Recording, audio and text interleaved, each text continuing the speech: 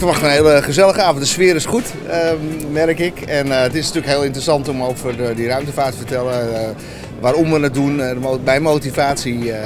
en ik hoop dat het heel inspirerend werkt voor, voor alle mensen. We zijn ontzettend blij en trots dat we hier in Valkenburg u mogen ontvangen.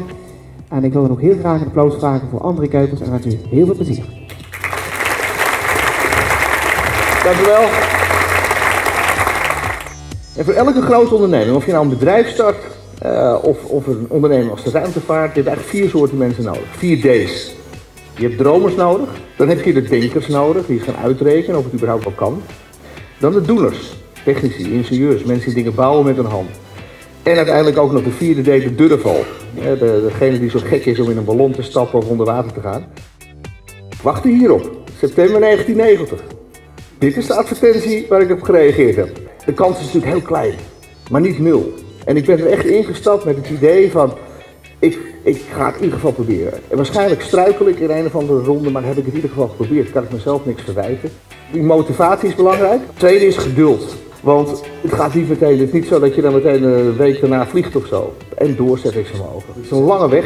Je moet een hoop dingen doen voordat je eindelijk eens wordt aangewezen voor een vlucht.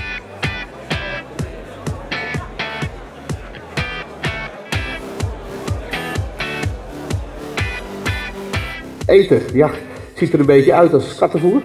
Ik wil een schuitje met hagelslag, dat wordt dus helemaal niks. Dat is een grote wolk van kruimels, dus alles moet een beetje plakkerig zijn.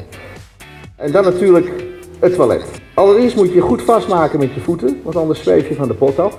Dus voordat je naar de wc gaat, moet je een soort stofzuiger aanzetten. En dat doe je met deze knop. En dat vergeet je maar één keer. Ik vond het geweldig. Ik vond het uh, inspirerend en ook uh, ja, eigenlijk heel verhelderend. Ja, ik denk dat je als goede ondernemer die 4D's uh, in, je, in je pakket moet hebben. Ik dacht dat de vierde de dwaas zou zijn, maar dit is de durval geef van de reacties dat de mensen uh, met veel plezier geluisterd hebben en dat ik uh, nog door had kunnen gaan. Dat is een goed teken. André heeft een, een, jarenlange weg bewandeld om uiteindelijk zijn droom waar te maken. En dat is iets wat ja, uiteindelijk ons als ondernemers ook raakt. Hè. Grijp je kans en als je ergens wil komen, dan, dan kan dat met heel veel doorzettingsvermogen.